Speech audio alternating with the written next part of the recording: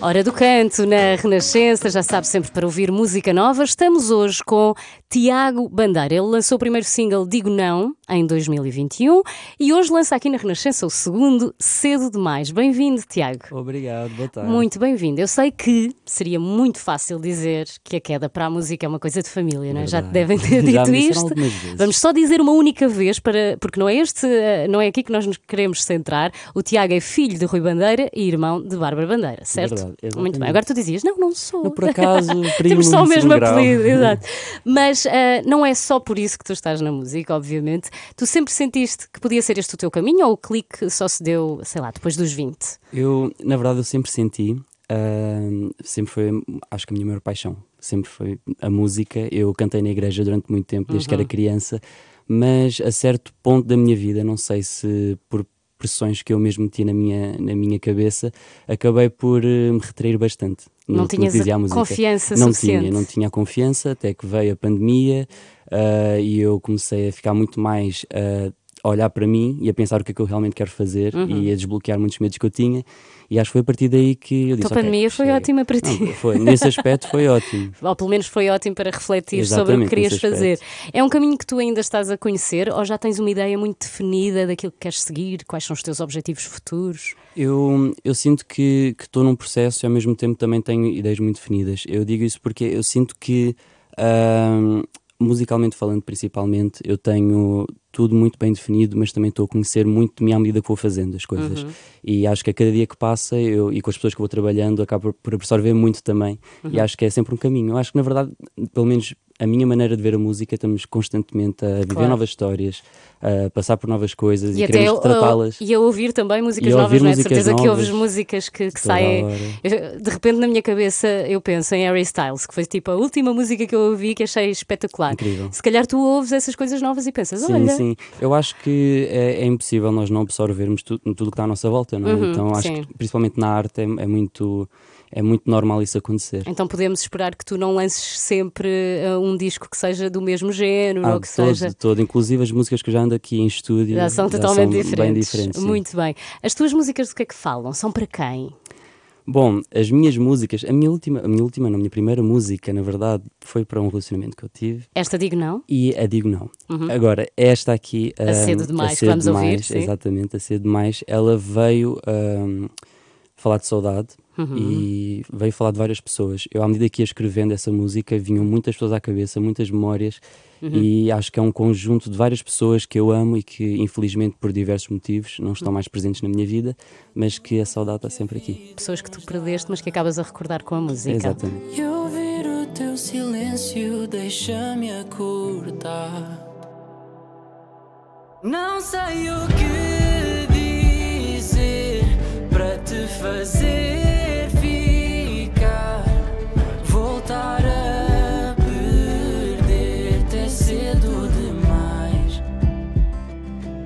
Se eu te voltar a ver, diz-me se vais ficar.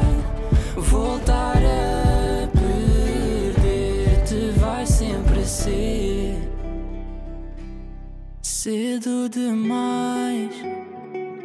Tiago Bandeira na Renascença com esta cedo demais. Tiago, como é que é ouvir a tua música assim de fora? Não, é, é incrível. Eu estava aqui a dizer que eu só queria estar dentro do carro a ver o pôr do sol agora, porque realmente é. Ficaste com inveja de quem ouviu a música no inveja, carro. Eu fiquei com inveja. Quem estiver a ouvir, saiba que eu fiquei com inveja. Muito bem, cedo demais é então este teu segundo single, podemos Exatamente. eh, dizer assim, eh, que foi escrito a pensar em todas as pessoas, como já disseste, que tu guardaste na memória e que, que já perdeste.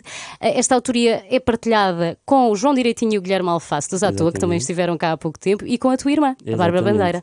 Como é que a Bárbara vê o teu percurso na música? Ah, eu. eu... Pedes-lhe conselhos, ela tenta Sim, dar, não, sim, não sim. tenta. Não, eu não- nós no início, antes de eu lançar a minha primeira música, nós tínhamos meio com um acordo que era ela não me ajudar em nada. Ok. Em nada, em Para nada. teres a certeza que ias fazer o teu Sim, caminho sim. sozinho. Então ela literalmente não me ajudou assim em nada. Obviamente, quando eu estava assim mais triste ou com algumas dúvidas, Uhum. a minha irmã tinha logo que, obviamente, Bárbara, o que é que achas, o que é que não achas? Exato. Mas, todo como o irmã, resto- não é? Mas como, irmã, como irmã. Agora, ah, todo o resto ela deixou-me ah, completamente livre, tanto Uhum. ela quanto o meu pai. Uh, entretanto, depois de lançar a música, tive até uma, uma conversa engraçada com ela em que acabámos os dois a chorar. Uh, dela a dizer: Mano, estou mesmo orgulhoso de ti, conseguiste Oh. por ti, foi incrível e, e pronto, e está aí. E Só, só, só por curiosidade, vocês têm mais irmãos? Não. Ah, ok. Era para saber se poderíamos esperar Sim. aqui mais alguém. Era incrível, mas o gato daqui a bocadinho também é o cachorro, Ok, tem, tem muita bem. coisa. Ahm, Tiago, diz-me uma coisa. ah, eu li alguns que a música é uma espécie de terapia para ti. Sim. Tu limpas os teus fantasmas a escrever e a compor. Como é que isto se processa? Uh, eu, eu, eu já não sou uma pessoa que fala muito abertamente sobre os meus sentimentos Uhum. no dia a dia. É muito difícil conseguir me abrir com alguém e falar realmente o que eu sinto.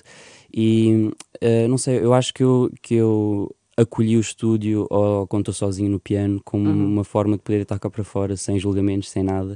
E, e acho que foi um- uma ótima maneira para eu evoluir bastante e perceber muito dentro de mim também. Acabas por desenvolver a tua inteligência dúvida, emocional também sim, através, através da música. Tiago, o que é que podemos esperar eh, do teu, do teu futuro, do, do futuro do Tiago? O que é que vem aí a seguir? O que podemos esperar? Podemos esperar. ah, eu estou aqui a, a trabalhar para lançar aqui uma- mas, mas mais umas músicas, não vou dizer quantas, porque tem aqui uma pessoa a olhar para mim que não sei se eu posso dizer, Ok. mas ah, Porque vem aí um disco, é isso? não, não sei, não, não, não sei. sabemos, não sabemos. posso saber Um dia, um agora. dia vem, um dia Exato, um dia vem, isso pode ser que um dia vem. Ah, coisas diferentes. Uhum. As duas músicas que eu trouxe são, são baladas, são Exato. músicas mais um pouco. ah, mais emotivas, Uhum. Ah, talvez uma coisa mais up, posso dizer assim, Certo. também para mostrar esse lado que Uhum. também sinto essa necessidade. Muito bem, até porque tu és várias coisas, não é? Exato. E assim mostras tudo. Muito obrigada, Tiago Bandeira. Obrigada eu. por teres estado connosco e desejamos-te o maior dos sucessos. Obrigado. E não se esqueça que ouviu primeiro Tiago Bandeira aqui na Renascença, está bem? So sing